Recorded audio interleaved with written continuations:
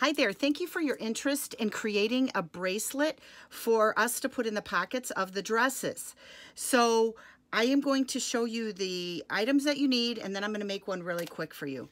First of all, I start off with thick elastic cord. Now, for some reason, they stopped putting the size, but it's 1.2 millimeters of elastic. If it doesn't say that, like these are two different kinds, six colors, four yards, 3.6 meters each of each color um, but it's the thicker of the elastic. And this works for a couple of reasons. Um, I make these a lot with seniors because they like to have a purpose in their life. And by having the thicker elastic, they're able to feed the beads in easier. And also littler kids, it works nicer. So we're gonna, you have the option of making three different size bracelets. And for the three, four, and five year olds, we're using a seven inch cut of elastic. For the six through nine year olds, eight inch cut, and the 10 to 14 is a nine inch cut. So we have this one, it is a nine inch cut. And what I do is I go through and I just unwrap these. You can tell these are all unwrapped. And I'll go through and I'll just cut them all. And um, so you can cut whatever size you'd like and it is allowing for this sheet is included with your this video instructions it's attached the pdf and um, I allow one inch, so this is an inch. My husband always laughs at me when I use it. I allow about an inch on each end. So what I do, if you if you are interested in doing like a service project type of thing with brownies or Girl Scouts, or I did this at assisted living facilities, the seniors loved this. And so what I did before I went there is I cut a whole bunch of these and I tied one bead at about an inch from the end. And that would allow them to string the beads on without the beads falling off.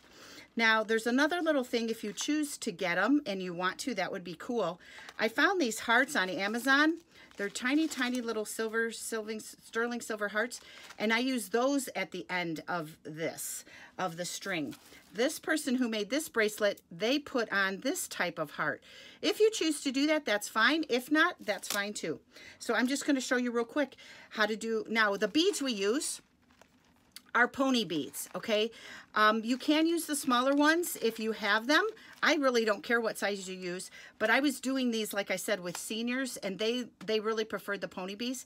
I get these at Hobby Lobby. The, it's the Treehouse Studio brand. About every three weeks, they go like 40% off or 50% off, something like that. So this bag is like a dollar. And so then I go and I literally stock up. There's all kinds of beautiful colors that they have, and they have like this glittery kind, or they have like plain.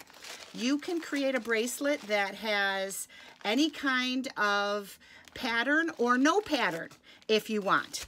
And so I'm just gonna do one here. Now look, this end is frayed, so just cut it off because I allow extra two inches for give and take on it and you literally just string the beads right on. I'm just doing one color for the ease of doing this. And here's the thing, whatever you like to do, you can do.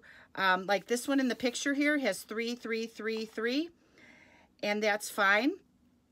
But um, when we actually put a pair of underwear and a bracelet in the pockets of the dresses when we're getting them ready to ship, we actually look for bracelets that are similar in color to the dress that it's going in the pocket of. So anything works, any pattern or no pattern. There's some people that just do random because I'll, I'll have seniors that um, they, you know, there was literally no pattern and that is totally fine too. So no judgment on any of the bracelets.